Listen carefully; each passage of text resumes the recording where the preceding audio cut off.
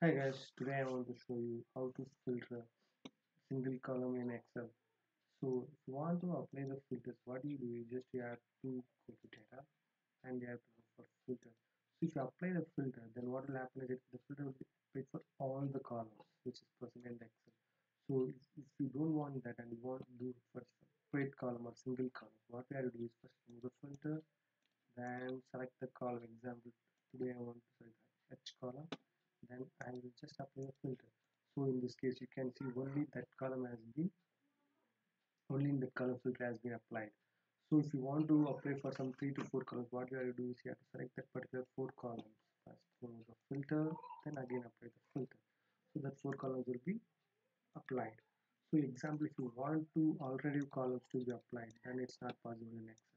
You will get an error. So example i'm just put the column m and i select the column m and move then I'm trying to apply the filter so that time you will see these errors this cannot be done.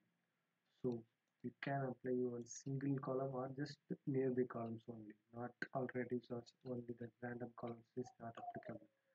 So now you understand right? Thanks for watching. Please share with your friends